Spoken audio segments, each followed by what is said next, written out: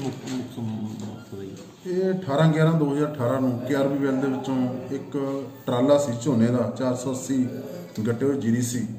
ਉਹ ਬਲਵਿੰਦਰ ਸਿੰਘ ਜਿਹੜਾ ਹੈਗਾ, ਇਹ ਮਾਨਸਾ ਏਰੀਆ ਦਾ ਸੀ, ਉਹ ਲੈ ਕੇ ਆਇਆ ਸੀ। ਉਹ ਸਣੇ ਟਰਾਲਾ ਜਿਹੜਾ ਹੈਗਾ, ਸਣੇ ਝੋਨਾ ਗਾਇਬ ਹੋ ਗਿਆ ਸੀ। ਔਰ ਉਹਦੀ ਡੈੱਡ ਬੋਡੀ ਜਿਹੜੀ ਹੈਗੀ ਆ, ਉਹ ਡਿਸਟ੍ਰਿਕਟ ਬਰਨਾਲੇ ਦੇ ਵਿੱਚ, ਥਾਣਾ ਸੈਣਾ ਦੇ ਵਿੱਚੋਂ ਮਿਲੀ ਸੀ। ਉਸ ਦਿਨ 407 ਦਾ ਮੁਕੱਦਮਾ ਦਰਜ ਕੀਤਾ ਗਿਆ ਸੀ। ਲੇਕਿਨ ਹੁਣ ਉਹਦੀ ਇਨਵੈਸਟੀਗੇਸ਼ਨ ਲਗਾਤਾਰ ਚੱਲ ਰਹੀ ਸੀ।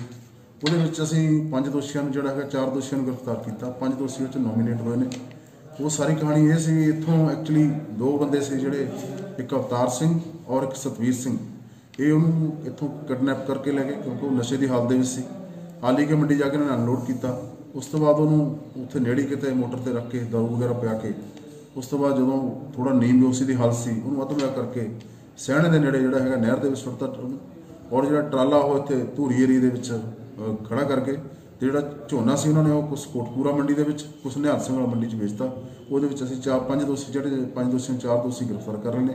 ਇੱਕ ਦੋਸ਼ੀ ਜਿਹੜਾ ਰਮੇਸ਼ ਆ ਉਹ ਆਲਰੇਡੀ ਕਿਸੇ ਹੋਰ ਮੁਕੱਦਮੇ ਦੇ ਵਿੱਚ ਜਿਹੜਾ ਬਰਨਾਲੇ ਜੇਲ੍ਹ ਦੇ ਵਿੱਚ ਬੰਦ। ਇਹ ਸਰ ਸਭ ਤੋਂ ਪਹਿਲਾ ਮੁਕੱਦਮਾ ਕਿਸ ਤੇ ਦਰਜ ਕੀਤਾ ਗਿਆ ਸੀਗਾ? ਇਹ ਮੁਕੱਦਮਾ ਬਲਵਿੰਦਰ ਸਿੰਘ ਡਰਾਈਵਰ ਤੇ ਔਰ ਪ੍ਰਗਟ ਸਿੰਘ ਦਾ ਕੰਡਕਟਰ ਸੀ।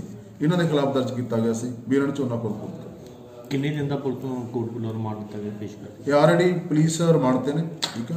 ਇਹਨਾਂ ਦਾ ਜਿਹੜਾ ਅੱਜ ਪੇਸ਼ ਕਰਨੇ ਆ ਤੇ ਹੋਰ ਮਾਮਲੇ